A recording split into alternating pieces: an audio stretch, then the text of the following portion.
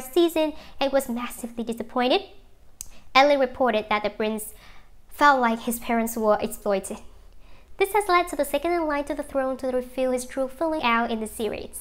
The source told Vanity Fair that the Duchess of Cornwall has watched the past season of The Crown and has no plans in stopping.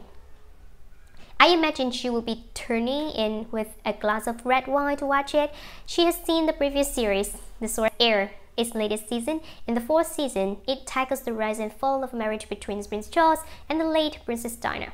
Apparently, Camilla Bowles, who is now married to Prince Charles and had a secret affair with him during his first marriage, cannot wait to see how the affair will play. The show may not be an unanimous inside the palace, as it has been revealed in the past reports that the royal families are not happy with Andrew's portrayal of the royal family in the fourth season of The Crown.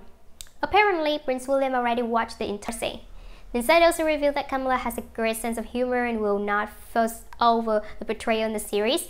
Allegedly, Camilla told the source that she has applied the rule that has guided the royal family since Queen Elizabeth to never complain, never explain. Camilla's feeling towards her and Prince Charles is one that involves a lot of scandals, a tarred affair and a broken marriage. Although her name was always been known to the family, it was not until her affair with Prince Charles unveiled her name that was known over the world.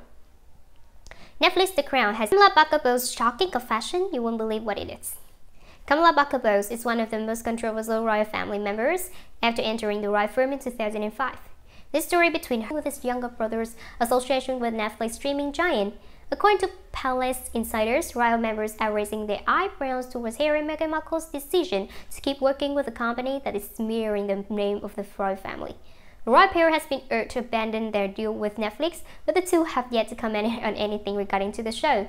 Friends of the couple believe that there is no way that the two will give up their $150 million deal with a production company for an institution they are no longer part of.